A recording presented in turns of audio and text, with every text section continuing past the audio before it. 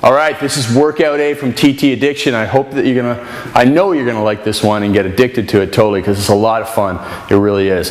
Now, our first superset is gonna do something that we've never done in turbulence training before. And we're gonna do the five by five method here in the first superset with a pair of classic, classic exercises, the deadlift and the bench press. Now, of course, this is clearly a perfect world setup. So if you can't do deadlifts and bench presses, instead of the deadlift, you can do barbell row, dumbbell row, or Romanian deadlift. So any of those, uh, dumbbell Romanian deadlift as well, or even dumbbell squat, or you can do dumbbell chest press for in place of the bench press. So if you only have one barbell and you want to choose between the two, I would say go with the deadlift and then do dumbbell chest presses. Now you're also going to want to use a weight that allows you to do 10 to 12 repetitions per exercise in the very first time you do it. So we're going to be doing five sets of five. You need to be able to complete all five sets of five repetitions with the same weight in order to improve to uh, continue on to and, and, increase the weight next time. If you can't get that, then you've chosen a weight that's too heavy for the very first workout. So be very conservative. You can bench press 135 pounds 12 times. That's what you're going to use for your five sets of five. And trust me, by the end, it's going to be difficult to get those five repetitions, even when you choose that 10 to 12 repetition. And that's conservative. Now, you know, I would probably, if I was doing it, use something I would do eight repetitions, and that way it would be a real challenge in the last set. But I want you to be conservative in the first time you go through it. And again, choose a weight that you can do 10 to 12 times for your five sets of five, okay? And then next week you'll be able to add a little bit of weight. So again, first exercise is some version of the deadlift. So deadlift, Romanian deadlift, Romanian deadlift with dumbbells, uh, dumbbell row, which isn't necessarily the same as a deadlift, but barbell row is another one that you can do. So we'll just show you the uh, original pairing first. So we're going to get in that deadlift position, so get that bar close to your legs. You're going to push your hips back until you can grab that bar. Look forward onto the ground about like that. And then pull that bar up, keeping it close to your body Slowly lower it down, keeping it close to your body to that same position. Drop it down, reset, and pull, and back down. Squeeze your glutes and pull. And we're going to do all our five repetitions there. Then rest a minute. Get set up on the bench press. Again, you'll either need a perfect world setup of two barbells or you'll need to do dumbbell chest presses here probably if you're going to do the deadlift. So get your shoulder blades stuck together, lift the bar off the rack, and what I want you to do in the bench press that's going to be different from your regular bench press is to squeeze the bar and to really pull it apart as you lower it down. It's really going to put a lot more stress on your tricep But that's what I want you to do. So control that bar, squeeze it, and then drive up there after you've done your fifth repetition.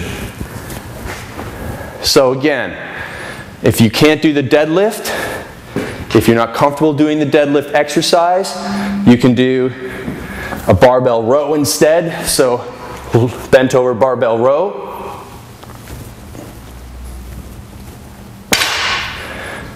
Now, what you could do is if you had a power rack, you can move the bench, do your deadlifts, and then might be a little high to get it up there, but you could uh, maybe shrug it up onto that. Or again, instead of that, we would just do dumbbell chest presses instead of the bench press. So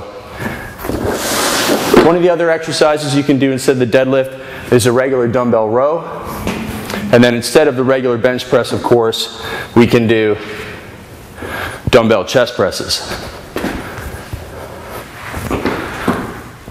So press up and in, lower down and out, press up and in, lower down and out. Okay, so either way, we want to get in two classic exercises five sets of five for each, one minute rest, sorry, one minute rest between each. I'm going to fall all over the place here. One minute rest between each, and you're going to go through that. Again, using a weight, you can do 10 to 12 times. Don't be a hero in the first workout and try and do a weight that you can only do six reps. You're going to get down to three reps after set two or three, okay? And the cool thing is, if you're doing a weight you can do about 10 times, the first set's actually going to feel like a little sluggish and you're going to wonder why you're so weak. Second set, you're going to feel strong. Third set, you'll probably peak and it'll just blow right up. And then fourth set and fifth set, you'll get a little bit of fatigue. Maybe in the fifth set, it'll be a struggle to get that last fifth repetition. Then next week, you can add, you know, 5 to 10% more weight. And you're really going to like switching back and forth between the press and the pull. It's an awesome, addictive first superset for this workout. All right, so you just crank through five sets of five in the press and the deadlift or row or whatever. Now you're going to do lower body and abdominal superset. So we're going to start with the barbell lunge. So set the bar up at chest height. Of course, you can also do this with dumbbell lunges. It's fine. Your grip is going to be a little bit shot from the deadlift. So I'm going to show you, obviously, if I was doing this at home, I'd stack and step forward. But we're going to do barbell lunge, stepping out, drive up. Wall reps for one side first. Get a nice strong step, drive up. And then we'll switch over to the other side. So as soon as you step, you stop the forward motion, drop the hips straight down, and drive up. So after we've done both sides, then we're going to do a weird little exercise for the abs, side plank, dumbbell lateral raise. So you work deltoids quite a bit, probably more than you're going to work your abs in this one, but it's a tough two exercise.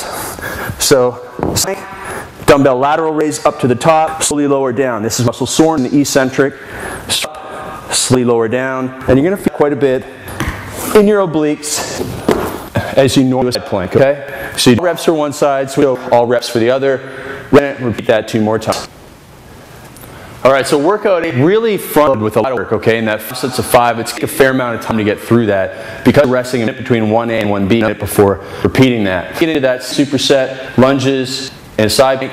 Then you're to finish off with some arm stuff because that's addicted to almost everybody. So we're to start with barbell six to eight repetitions. Probably best arm exercises because it's just so basic. Knees bent, abs braced, hips back, curling the weight up, slowly down, power up, and control down. So the soreness comes from the eccentric motion. So we'll do all reps there. Then we're going to go into another classic dumbbell tricep extension. leaning back, or sorry, getting back so that the head is just about at the end of the bench. That's going to allow you to lower the dumbbells beside your head and then a little extra stretch, and that actually stretches your abdominals, and you'll get a contraction of the abdominals on the way up. So I get a real strong stretch here by pushing my hips up and then contract the abs. So you'll actually get sore abdominals from the lying tricep extension with that extra little stretch. And then to throw in one more little thing into this finishing circuit that's different is we're going to go into the close grip three quarter push ups and go one repetition short of failure. And now you might think that's going to ruin your performance when you come around to the extensions again, but some reason it just doesn't. You'll fatigue your triceps with the body weight here, but by the time you get back to the dumbbell extensions, they'll be strong again. So hands under the shoulders, body in a straight line, elbows tucked in, all the way down, three quarter of the way up.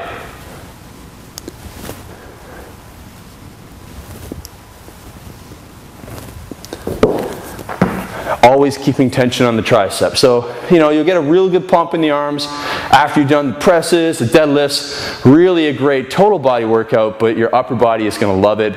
And so that is the very first addiction workout with the main focus being improving those five sets of five every week. So you want to make sure that you hit them five by five, you dominate the weights, and don't let the weights dominate you. So that's it for workout A.